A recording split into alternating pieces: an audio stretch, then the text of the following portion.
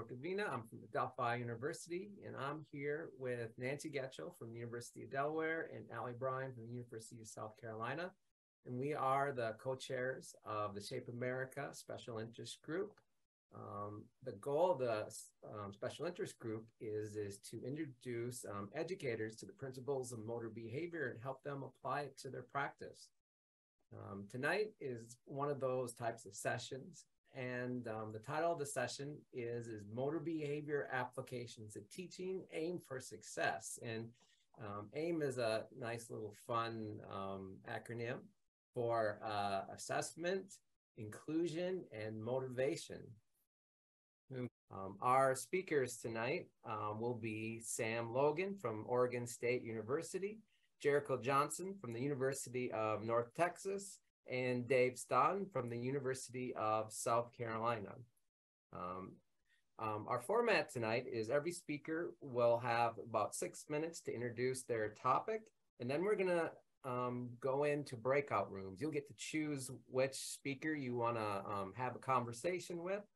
Um, so there will be about 35 minutes in breakout, and then we'll come back and have a 45 minute panel discussion where we can summarize everything we learned.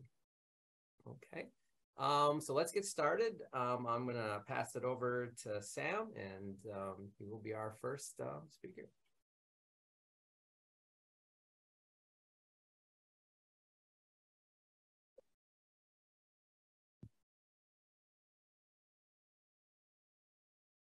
Okay, just getting set up here. Okay, I think we are good. Paul, can you give me a thumbs up if you can see just the slide and we're good to go? Perfect. Okay. All right. Well, good afternoon, everyone. Thank you for joining this event. My name is Sam Logan. I use he, him pronouns, and I'll be our first presenter. I'll focus on inclusion, and Drs. Johnson and Stodden will focus on assessment and motivation, respectively. So first, I want to tell you a little bit about my data collection experience that I had during my doctoral work. And my dissertation focused on teaching a motor skill intervention to second grade students through a mastery approach, where students were provided choices to engage with PE lessons. And Dr. Johnson will talk a bit more about this mastery approach, but something I'll never forget about this experience is in the class before I taught, there was a student who used a standing device and was not mobile on his own. He was always excluded from PE, and this always just stuck with me. Um, I'll also say that I don't think that this exclusion was specifically due to the PE teacher. Uh, rather, I think it was really about the numerous systematic and institutional barriers and ableist attitudes throughout public education and broader society that resulted in that exclusion. Um, fast forward to my postdoc research experience where I became involved with power mobility use of young children with disabilities. Power mobility is use of a motorized wheelchair, which is pictured on the left, or other similar device, such as the Explorer Mini, which is pictured in the center, the yellow and blue device, uh, or a modified ride-on car, pictured on the right. So for the last 10 years, I've been involved with the Go Go program that modifies off-the-shelf ride-on toy cars through installation of a large, easy-to-press activation switch and custom seating support using low-cost materials such as Velcro and PVC pipe.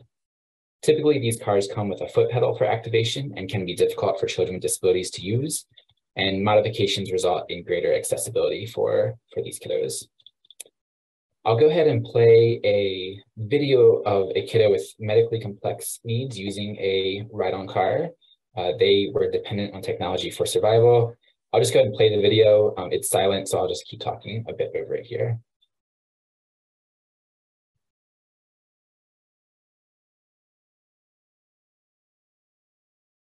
We'll see if it catches up. Um, I did hit play, so we'll see. We'll see if it comes. Um, but this kiddo was the one who changed my view about physical activity. And, you know, kinesiology places a really high emphasis on moderate to vigorous physical activity because of its association with positive health outcomes. But this kiddo made me become much more interested in how physical activity or movement in general is used to explore the environment and interact with others.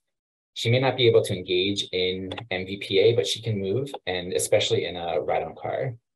Uh, this video just showed her driving, um, driving this car up and down these hallways of this 24-7 uh, care facility where she lived at the time. Our research team recently published a perspective about mobility equity called On-Time Mobility.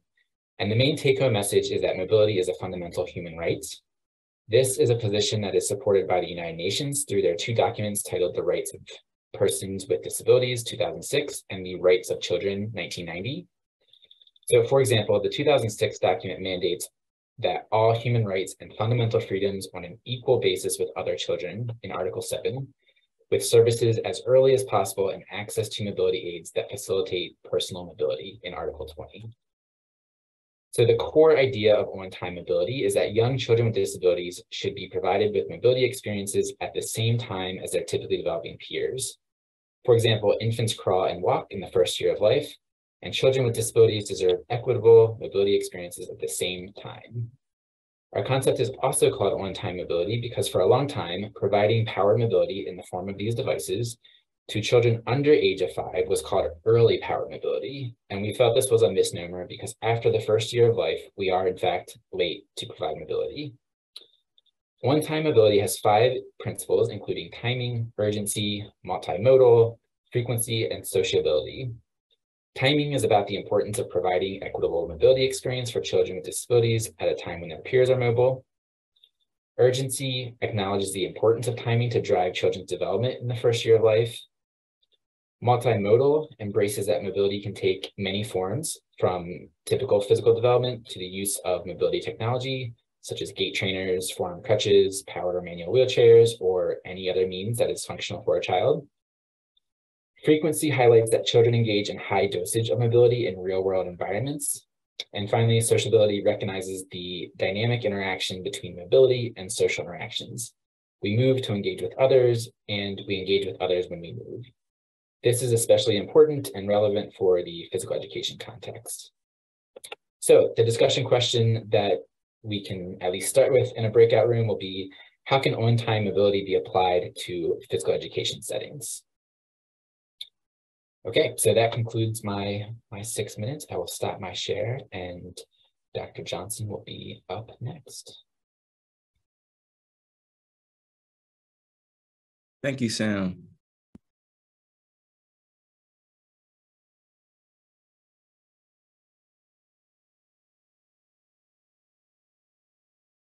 Can somebody give me a thumbs up if you can see? All right, so I am the M in AIM, I am the motivation aspect. And so just a little bit of background about me. Again, I'm Dr. Johnson, and um, I'm a graduate of Morehouse College, as well as doing my graduate studies at the University of Auburn or Auburn University. And then I'm currently a second year assistant professor at the University of North Texas. So my research focuses on the development of childhood health behaviors, kind of exploring the underlying mechanisms. And so one specific area within my work is mastery motivational climate interventions. And so for some of you that may or may not be familiar, these are child-centered autonomous approaches. And so that's kind of the lens that I'll be talking about or sharing from today. And so I look at these interventions from both a pedagogical and a, a developmental perspective. And I know that many of you may not run these type of climates, but I still believe that there are some parallels and still some comparisons that we can make together with, with what I'll be discussing today. But moreover, one of the biggest problems that I've seen based on my experience working with pre-service teachers is this idea of content design.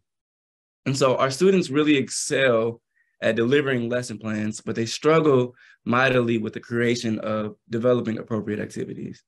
And so one question that I want to lay on your minds as I go through this next five minutes is, what are some of the most important factors that we need to consider or should be considering when designing tasks in movement settings for young children. And so we looked at these mastery autonomous climates um, interventions, and we looked at the children's behaviors during these interventions. So we started to analyze what are the children doing with this autonomy? And so we came up with two terms that we describe as attraction and holding power that I'll describe today in relation to designing motivating uh, activities within movement settings. And so please keep in mind that I'm coming from the preschool age. Um, this is this study was affiliated with preschool age children. And so the first concept is this idea of attraction power, or we looked at what stations did the children go to most often, And so we looked at their behavior and we de- deductively analyzed the stations that they went to most often and identified some key characteristics about those stations. And so three themes emerged as far as attraction power. And the first was novelty.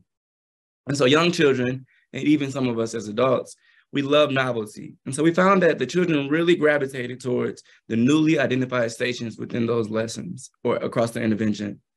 They love the opportunity to practice new skills.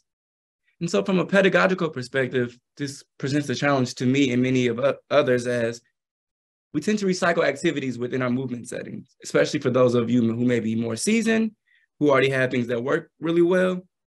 And uh, so the question that I ask myself is how often do I switch up the activities that I think are already really good in terms of novelty? The second thing was authenticity. And so our, or things that appear genuine to the young children, out, even outside of the intervention. And so this is critical for us to be mindful of working with children from lower income households because can they relate to what they're doing here in our movement settings and also have access to practice, practice these things outside at home? But overall, we found that they were least attracted to activities that may not have appeared more authentic. And so you see here, the young child here, Jalen dribbling playground basketballs. Well, dribbling was one of our least attractive stations in the beginning because we were using playground balls which was a little bit easier to learn the concept of dribbling for three and four year olds. But it wasn't very authentic to them because playground balls didn't really re- equate to, to dribbling. And so we found that when we changed and used actual basketballs, they were a little bit more interested in the or attracted to this station because of the authenticity, but they still weren't very good dribblers. And then the final thing that would at least attract the kids to the station was this idea of perceived difficulty. And so we found that the children were much less eager to practice skills that they could not do well, or even or that they didn't perceive themselves as doing well, which was also uh, dribbling in the case for us. So I just wanted to give you an example of one of our most attractive stations that we had within this particular study. Striking of the balloon. So this idea of working on hand-eye coordination through striking. Um, we were able to keep it novel throughout the sessions by um, adding layers to the, same activity station across the intervention.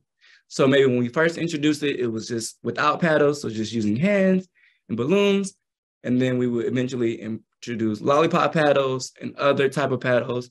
We could change the color of the balloon, so on and so forth. So we were able to keep this station novel.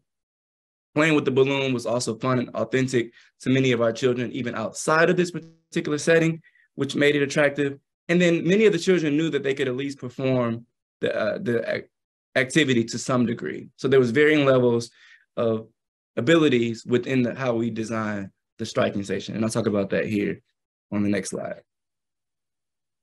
So not only did we look at, you know, what, where they spend most, uh, where did they go to? We looked at where did they spend most of their time at, or this idea of holding power.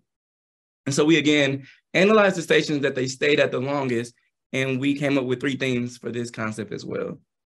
And so the first one is this idea of being built for success, or the activities that had the best holding powers were built for success.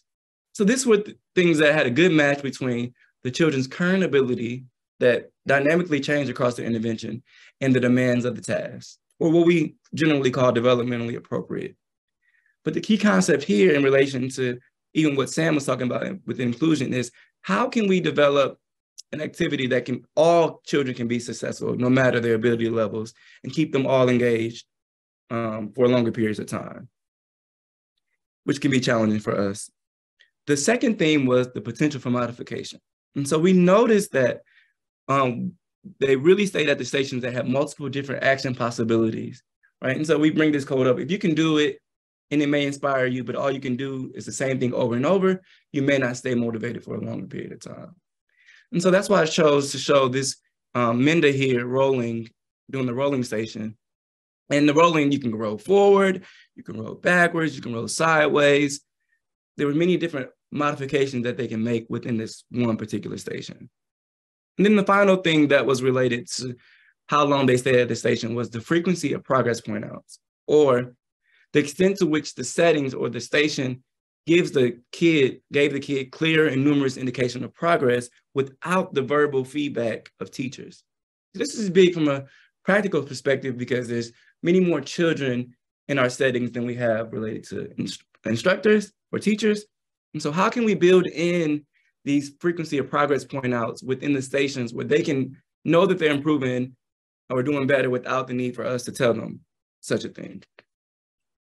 And so, and one of our most, one of our best stations for holding power, they stayed at the longest, was this idea of jumping, right?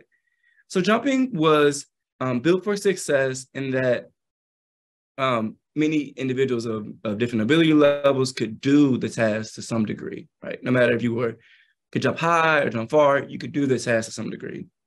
A lot of variety of options, as you can see here. You can do a one foot jump, a two foot jump. We, we started out with one mat, we went up to two, up to three.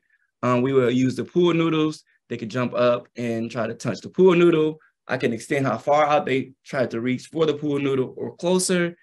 Um, we can we use colored mats to see if they can hit the blue or hit the yellow, right? How can we include a variety of tasks within one station? And then progress point outs. They could, each time that they jump, we're getting direct feedback without me having to say anything about their, their progress or their progression. And so thinking of this idea of holding power and attraction power, for those of you that may want to join the breakout room, we talk about motivation and engagement within activity design. Some questions that, we, that I would like to discuss are what problems do you have as practitioners and researchers designing activities? About how much time do you spend designing activities within your movement settings?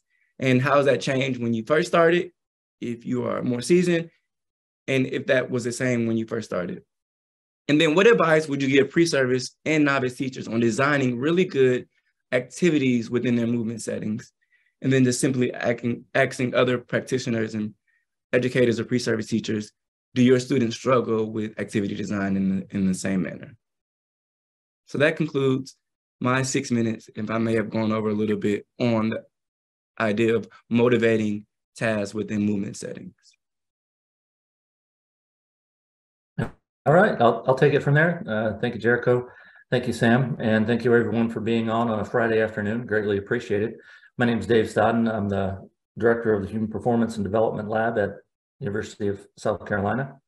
And I'm going to be talking about assessment. So, so working with both Sam and Jerraco's presentations, we talked a little bit about, well, how do we assess the mobility? How do we assess uh, how successful interventions are? And understanding that assessment can be a dirty word in physical education. Uh, I want to put that out there just right away. Um, is there a way that we can look at this and, and kind of reformulate what we think about assessment? And this all started about five, six years ago. Darla Castelli and I had a, a chat at the Shape America conference, and we're talking about a, a national assessment for standard one. So looking at the motor skill assessment idea. And, and this conversation turned into a conversation that was related to 50 million strong, which was happening at that point in time. Conversation led to additional conversations with Judy Rink, Jackie Lund, Hans van der Mars, and this next turned into a meeting at Reston, Virginia to develop a national assessment for Standard One. Uh, so Shape America gave us our marching orders and we completed this idea, um, primarily written by Judy Rink, Jackie Lund, with Darla. And the idea was to be able to assess as we would normally potentially at second grade, fifth grade, eighth grade, and somewhere in high school, including standard one motor skill assessments, as well as the fitness idea. So that turned into a 217 page document. So from that aspect, along the way, looking at this idea of assessment and why we don't assess as physical education teachers, why we don't promote assessment uh, enough, in my estimation, in, terms of developing our pre-service teachers. So again, along the way, thinking about assessment and trying to transition our thought processes to feasibility. Feasibility assessment in terms of uh, locomotor and object projection manipulation tasks, as well as functional coordination. Some foundational aspects that we could assess, that we all could assess, that would translate to development across time. So that's what we've been looking at. So in the in the the after the after session here, and we go to our breakouts, I want to be able to chat with you a little bit about your thoughts about assessment, um, why we haven't been doing it, and what would actually promote us being able to assess to a great degree in physical education, not only in our, our particular educational constructs, but in schools.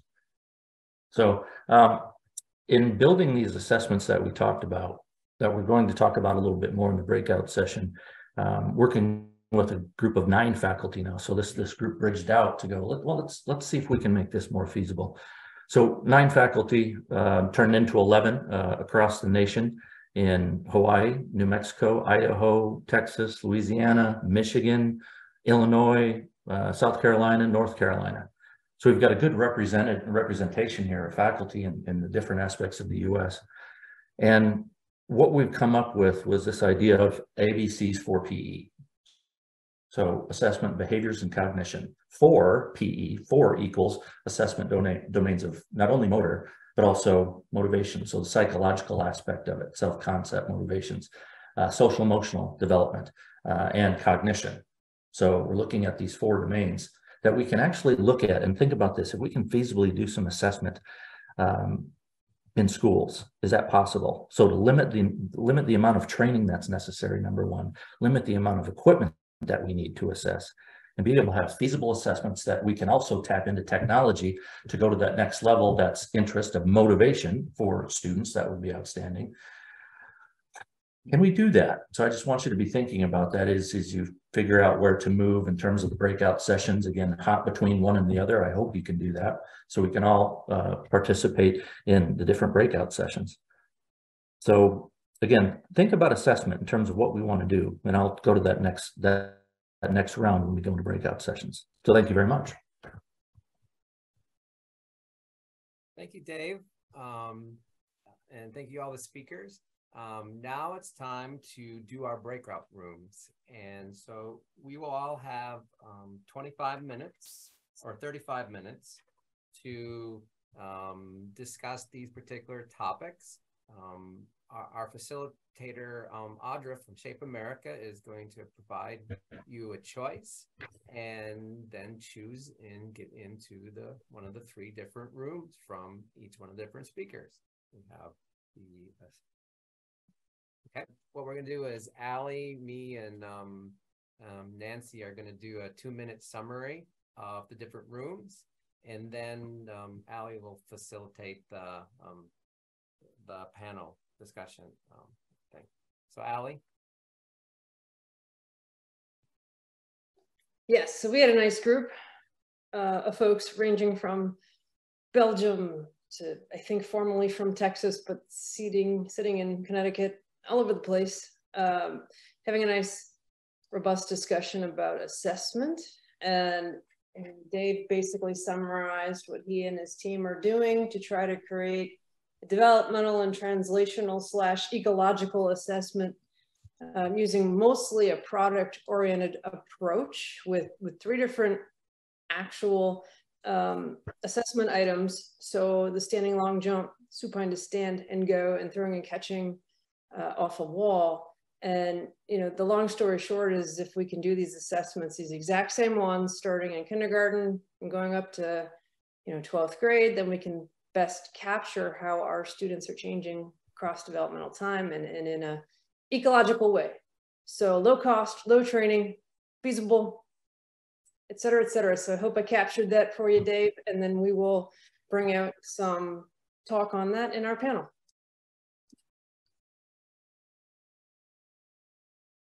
And I'll, I'll, jump in with our, our group with Jerraco. Um, we had a, a, very a good discussion, very wide ranging. In fact, we were in the thick of it, and then all of a sudden we were bumped back. So um, we talked about a, a, sort of a wide range of topics related to motivation, um, but we wanted to focus down on um, one point: how can we help uh, pre-service teachers design good activities. And um, some of the comments were were related to feedback providing uh, feedback for what they're doing. Um, the so sometimes it's hard for pre-service uh, students to let their guard down so giving them opportunities to um, to just break free and not think about people watching them and what they do um, the, another great idea was record and reflect. So when the pre-service teacher is teaching, have them record or, or not have them record, record what they're doing, and then have them reflect on what's happening around them because they might not see it and might not think about it. Um, and then completing the circle by having them use that reflection to guide their future um, activities that they design. Um, think through culturally appropriate activities um, that that will resonate with the, the students that they're teaching. Um, suggest that they move away from specific skills and move towards different tasks. So instead of emphasizing throwing, emphasizing some sort of a task where you throw. So if, for example, girls don't want to throw, then uh, because it, it's not culturally appropriate, you can uh, fake them out and ha- and how the students can design activities that allow them to throw without focusing on on throwing itself. Um, and let's see. Uh, I didn't finish writing this the rest of the sentence, so I'll leave it at that. Okay.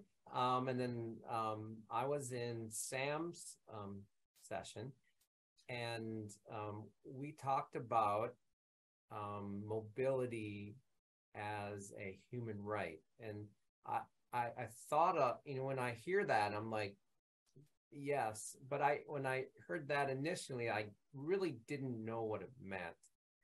And by providing these um, mobile devices for these children, um, it provides them access to development. And it's by being able to move around, you can increase your perceptual motor, you can increase your cognitive, but your social, and it provides that autonomy. So I'm like, yes, it's good for people to move, but it just provides access to all this development that you don't think about. And um, Sam has some like amazing programs. He talked about the mobile car devices, but then he went in and talked about the the, the cars can like pitch things in a throwing manner. So it's the program of throw baby throw. That, that was that blew my mind. And then he went into talking about dance baby dance. There's these apparatuses that hang from the ceiling that allow kids to dance and and and so I'm like, wow. But now that you have these, um, you know, mobile devices that allow them to move, and then you can think about what what Jerraco was talking about in, is how we can dev- devise these tasks. And um, Sam talked about how some parents were de- designing obstacle courses, and and and we think about what's the right amount of movement and dose and right amount of social interaction and you having people, you know, mobile like regularly able bodies, and then how they interact with the cars, uh, and then you how you have um, car kids on with cars and kids without or with cars and how they all interact. And I think the thing that hit me the most was, but once you provide these environments for them and they're moving, there's these cascading effects and you find out all these abilities you didn't know that your children had. And that's where really the uh, the assessment comes in is like you're you're seeing the development you're able to assess the development and their progress and you know as they learn get to uh, their functioning. And so i was just i was like wow this is this is i never really thought about it this way. So um that's that's kind of what um a lot of the thing. And then Eddie in our session was talking about how you can do it for older kids, not just the birth to three. And so he he's thinking a, a lot about that uh, thing. Okay, well, uh, sounds like you had some good interactions in all the sessions. So let's have these cascading effects occur now into our full session. So um, we have uh, a nice opportunity now for the audience to ask questions to our, our three speakers. So I want to start with that and then I will probe if need be. So and any questions for any of our speakers from the audience?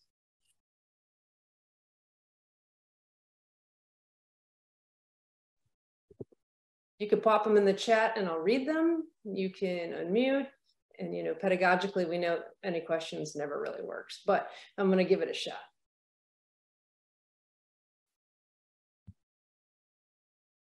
If I could jump in and ask someone, I'd like to get some people's feedback that were on our uh, breakout session. Is that possible? If you'd like. Pushing the envelope here. Angela, what do you think? How does that look from an assessment perspective in the state of Arizona? It sounds lovely, but uh, knowing how um, physical education is viewed in Arizona, where there is no mandate at all, uh, suggested only suggested requirements. Um, I would love to do these types of assessments. I think it's needed, uh, but I still think we have a long way to go before they're even accepted. Um, but that's Arizona. I am originally from New York, where things move a little faster. So uh, I could see it working there before here. Can I add that a little bit? Go, Candace. I was going to uh, pick on you next anyway. Okay, good. We'll see. Beat you to it. So I'm from Oregon, and it's also not also not mandated there. So it's not such a dirty FitnessGram is not such a dirty word there. It's pretty much the only assessment anybody would ever use. Um, not much more was it was you know again it's that feasibility thing. It took two days to get through all of it, and then teachers were just exhausted. So what you said to be able to combine them and be able to again less equipment, less time to be able to look at multiple things at what one time I think would make a huge difference within the actual classroom to get more people to do it. So um, I get that, you know, in other places where you're forced to do some sort of assessment, that can be um, a little bit, little bit more intimidating. But I, I like what you're saying. I like anything that you can make it easier and quicker to do and be able to get to all the students, I think is super helpful. So I liked what you were saying. Thank you. And not saying we, we still have that Shape America document. There's still PE metrics out there. No, that was one comment. They're still there. We'd love people to use them. Love people to use them formative assessments in terms of how they assess at the end of every um, developmental uh, unit that they teach. But it's just not happening. And that's why we're talking about trying to think about ways to make this easier, more feasible, with less training involved and less time that takes away from physical education instruction. Dave, what was your three? You said it was three, three uh, main skills, long jump? Well, so we've got us three assessments that capture the long jump, which is, you know, that that's actually a combined assessment, get, which gets into musculoskeletal fitness as well as the lo locomotor aspect. And actually, to me, it's an agility test moving from point A to point B right away. We've got a throw and catch assessment. So you've got throwing and catchment built into one. And then we've got a supine to stand and go global functional coordination that actually involves that, again, global functional capability. And then you've got an acceleration speed and agility piece of the puzzle that happens because you get up from supine, laying on your back, get up as fast as you can, run around the cone 10 meters, 30 feet, and sprint back. So we've got multiple skills and assessments and ones that translate into functional capability in mm-hmm. essence, health related fitness aspects as well. That gives us a foundation to really understand where kids are from multiple skill perspective. Dave, can I ask a, a follow up? Um, where are you uh, in the, the validation process? Yep. So currently, we've we've got a couple of dissertations that are looking at these uh, tests, but because I mean, you're talking about supine to stand, and you're talking about a 10 meter sprint and going back and forth. Those have been validated for quite some time in multiple directions. And again, the tests that we're trying to promote here are attempting to, uh, we're, we're attempting to be able to test these, assess these in anywhere from kindergarten all the way to 18. So it's a developmental assessment that we can track across time. Brian's got some good data for his dissertation on throw and catch, where we have a linear increase across time. So where we are in validation, we know that throwing and catching, well, we've got good tests there. And realistically, we, we know what throwing looks like across time.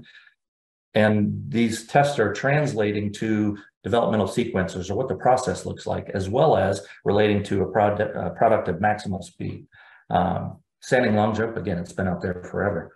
We just want to be able to use these three. So in terms of validating the actual assessment protocols, well, we know they're grounded in all the assessment work that we've been doing since 1960s and before. So great question. Okay. So I'm going to ask a couple of questions to uh, Sam and Jerraco. So Sam and Jerraco, it's for both of you. And uh, we'll have Jerraco go first and then Sam, if that's cool. So what, what are your long-term goals for your research and what would you need to change in order to accomplish these goals? Wow, that's a that's a big one. Um, so our interventions work, I mean, mastery climates work for skill development and other health related outcomes for preschool age children specifically, right? Um, long term, we need somebody to implement other than than researchers. And so my first things first is better. Initially, I would say training pre-service teachers so that they have the skills to implement it if they when they go so choose to go into the setting. But really, it's early childhood educators, and I think the long-term goal, is to train them. But I don't know about your programs.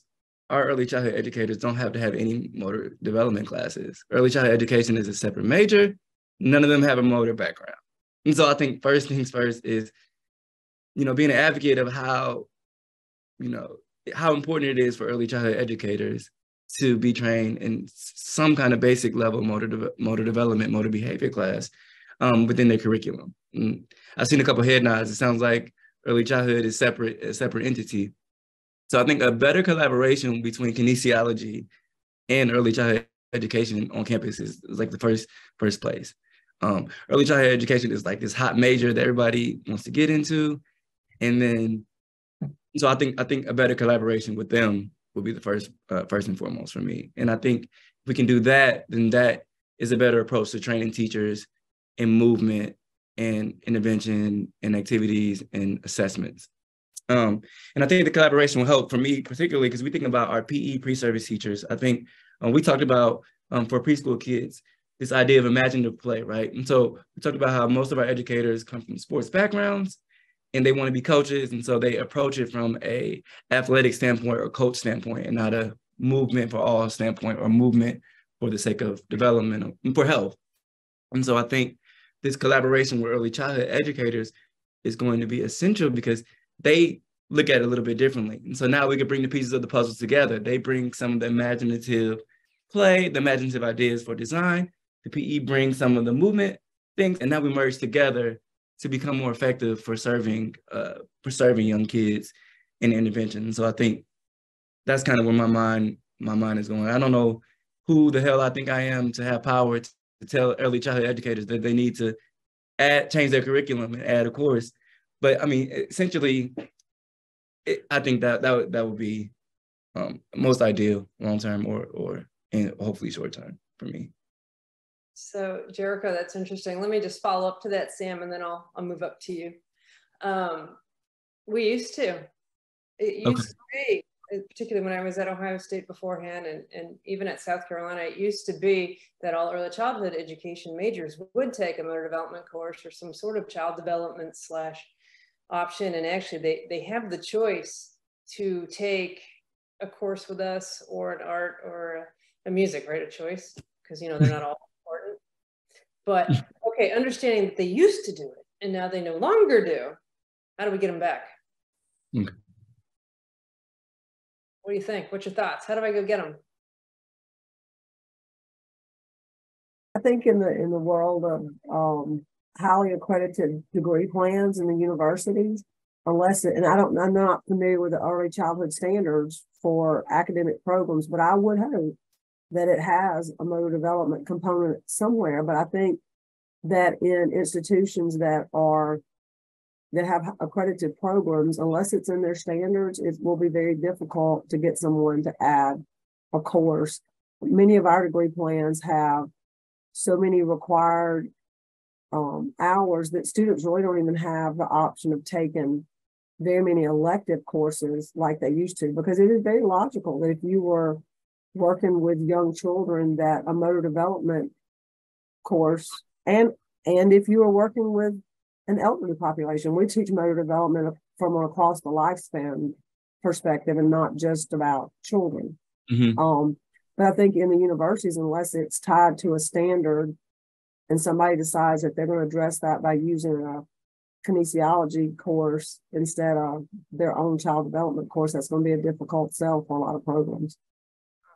Yes, and I think Ali, what came to mind, thank you, Nancy, is the connection to like we like we've been trying to do the cognitive connection. I think you know from connecting movement to academic some kind of academic outcome like executive function or cognitive uh, function those kind of things i think that's our primarily our only hope for making that connection and so that i guess early childhood educators can see how their promotion of movement is also going to be beneficial in the classroom setting or in, you know for their children beyond just moving for the sake of i have one as if, as if movement isn't healthy movement isn't good health enough right?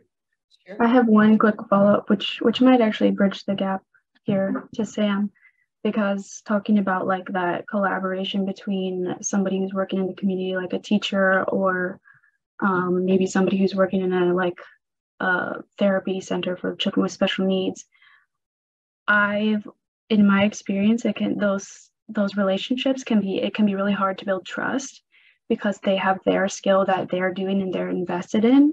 And so to say to come in and say well you should do movement because it'll help with everything else i've found that it's hard to establish trust. And I, i've always wondered if actually doing the intervention with the adults who work in these settings wouldn't be something that's like how like we do this with kids and we think that they'll experience these changes and they'll be more motivated to go on and be you know live healthier and happier and be more active and experience the benefits i've always wondered if that would if actually working with our adult populations who we want to implement these things if actually doing an intervention at their level and then saying, hey, do you think this would work with the children that you work with too? Because now you're experiencing the benefits. Or hopefully, hopefully.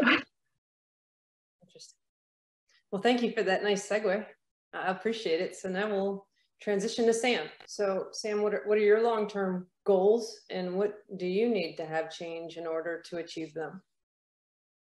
Yeah, thanks. I think those were all great thoughts from everyone. Um, yeah, I think this is less of a research goal, more of the you know the practical goal.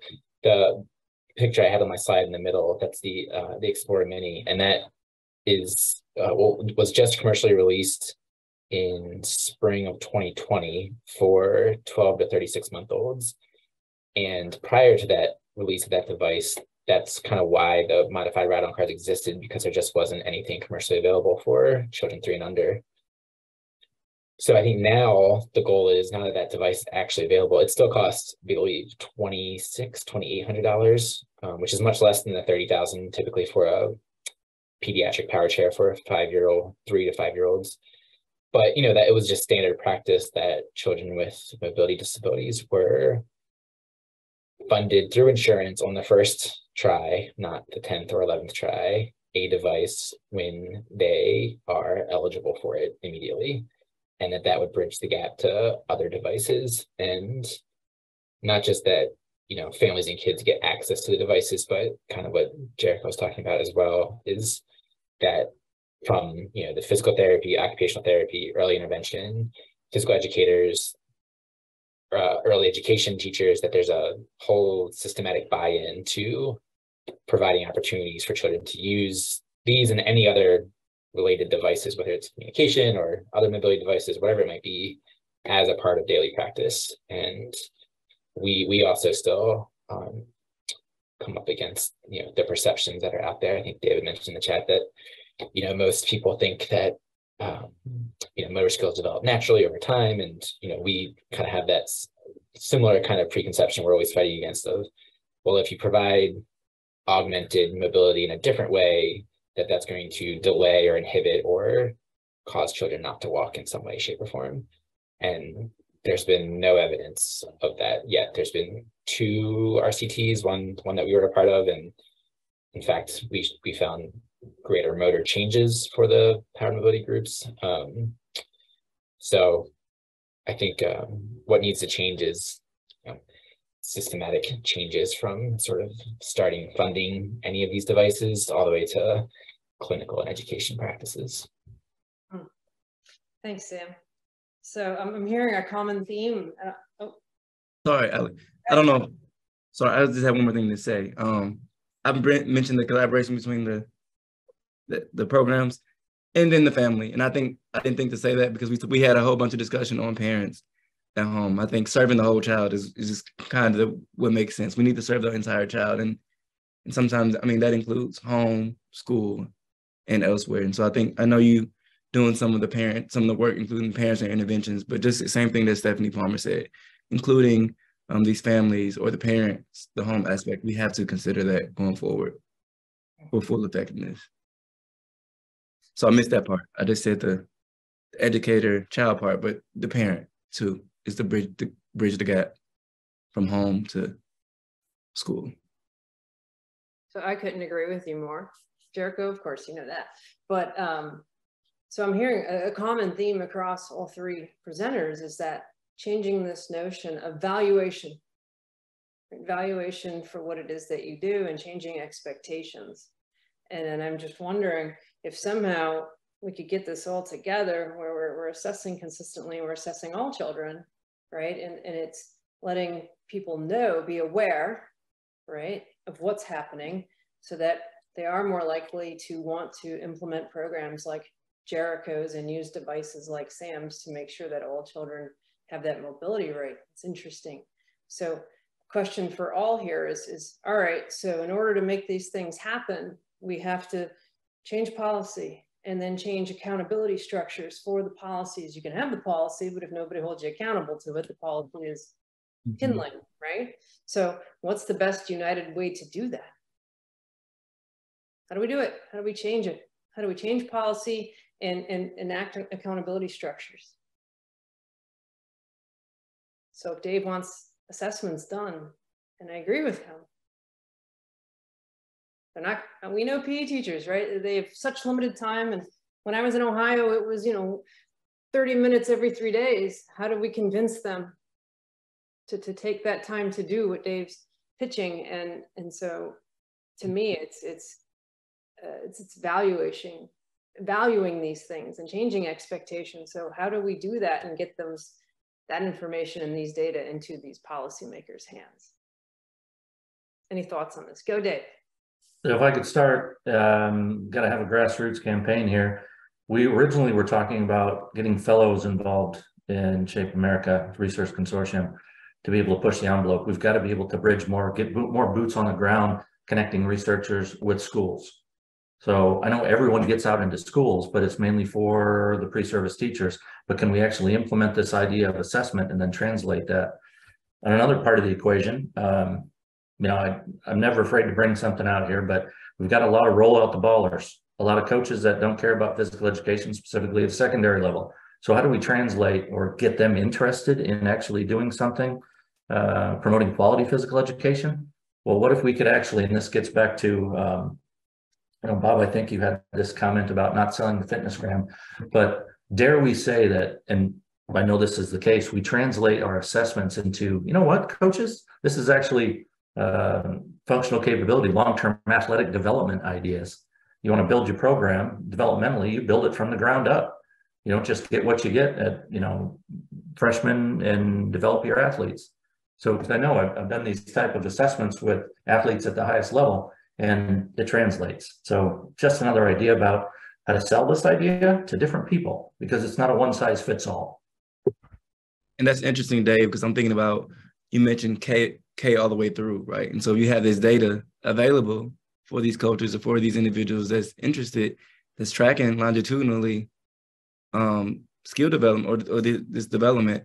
I think that they will probably buy into that too. I mean, even beyond high school, like on recruiting level, I mean, you can see patterns and see see changes. I think having access to that data for some people would be interesting. Maybe that maybe for some buy-in. Because while we do have our physical education champions out there in schools, they're limited in number. So mm-hmm. be realistic. We've got to get more out there. But so how do we sell this argument? How do we get these get this information to people's hands so that they see the value in it? And that taps into again the other aspects of the equation, the affective, psychological, motivational perceptions, self-efficacy, um, social personal responsibility. And we have that, we have that capability also in a feasible manner where we don't have to take up educational instructional time, physical education instructional time. Because we have them on technology, we have them on Qualtrics. They can take them outside of PE. I'm thinking, well, how are we doing on time? Just want to check in. I know Nancy's got oh, yeah, some info. Like, I guess we have one minute, um, but I have uh, Dave mentioned something um, really interesting about what happens if we had one great idea and then we got all the Shape America fellows from all their different universities to implement and reach out on that one great idea? That, that's an amazing idea. I mean, it's doable. I mean, Tan Len Go will be the um, the new um, research council. Uh, approach her and say, "Let's do this." We have nine so far. Okay, so for the sake of time, Nancy, I am going to throw the ball off the wall for you to catch it. Okay, all right. So I we, I just wanted to thank everyone from uh but Ali, Ali, Paul, and I would like to thank you for attending. This, I think this is really successful. Um, we hope to see you at SHAPE. I just put in the chat box our motor behavior SIG presentations. Um, what you should know is that we're trying to focus on translation. So in, in our group, Nancy mentioned that sometimes students, pre-service te teachers compartmentalize. What we're trying to do with the motor behavior SIG is provide ideas to help get those very useful ideas from motor behavior, motor development, motor learning into the hands of teachers, give them ideas for activities and um, and help to them to use these in, in a real world, or at least think about them in a real world sense in a in a, a, PE classroom sense. So we have lots of good stuff. We have um Ali Brian is all over the place. She's gonna be she's never gonna sleep, but she's uh doing first starting us off with a, a motor behavior um help me learn my motor skills children with visual impairments that sounds interesting then we're going to have a, a coffee talk right after that. That's Wednesday, the 29th, where uh, Ali and I are going to talk about creating evidence based pedagogy practices. So, this is where the rubber meets the road. This is exactly what you're talking about. So, what we want our SIG to be is something useful to uh, PETE people. So that's we'll we'll be talking about uh, translation there. We have our seed and top lecture. We have using motor behavior research to enhance meaning uh, on Wednesday. So we have lots of stuff in this in this vein. Uh, a lot more stuff throughout the conference. It's so much you can look in the chat book box. But we hope to see you there. And when we do see you there, stop and say hi. So thanks again. And thanks very much to our speakers. You did an excellent job. So let's give them a round of applause. All right. Quick question. If anybody has email information or wants email information to further communicate, great. Please feel free to contact. Yeah, is there like a pause there, like a somewhere we can put our emails? You could put it in the chat box. Yeah. We I thought that you guys kept a list of everybody that there oh, there, there is a list and we could send it out to everybody. Yep. I believe everyone that signed up is added to it.